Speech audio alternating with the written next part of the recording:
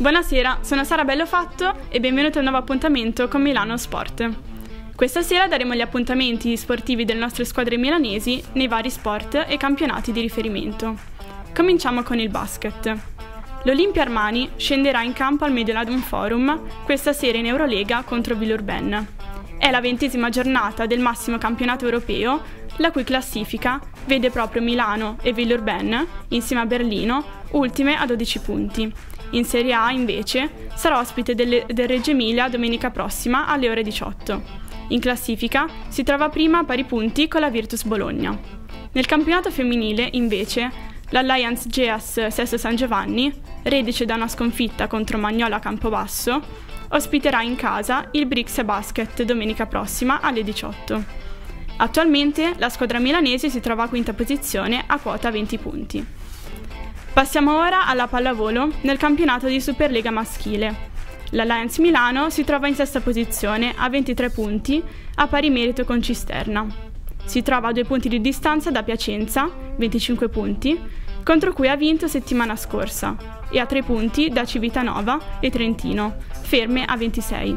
Questa domenica giocherà in casa dal Verona alle 15.30. Nella Serie A1 femminile, la Vero Volley Milano andrà in trasferta a Bergamo domenica alle 17 per rimanere in corsa scudetto. La squadra di Gaspari si trova infatti terza a 35 punti, ha solo una vittoria di distanza da Scandicci a 38 punti.